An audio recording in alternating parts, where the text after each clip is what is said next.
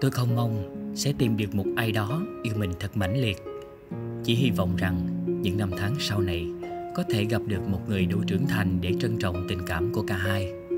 Kiểu như là không phải không rời xa, mà là bên nhau bình yên quá nên không ai muốn rời đi cả.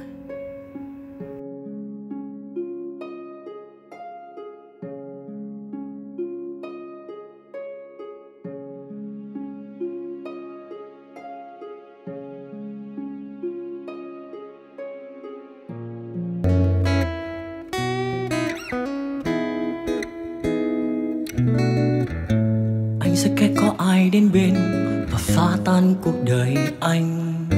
Phá tan sự yên tĩnh bao lâu anh quên rồi. Anh sẽ kết có ai đến bên và nhắc nhở anh từng ngày. Phải yêu làm sao, phải sống như thế nào? Giờ sóng ngang trái, trời trao những gì mình ghét một thời gian anh thấy tim anh rung động. Còn em đâu biết là anh đã phái lòng em. Nói làm sao khi chẳng biết bắt đầu từ đâu. Là ai cho phép em đến khuấy động cuộc đời anh?